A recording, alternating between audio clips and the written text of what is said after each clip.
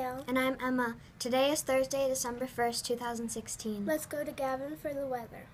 Hello, my name is Gavin, and today I'm going to do the weather. The forecast today is cloudy with a high of 39 degrees and a low of 28.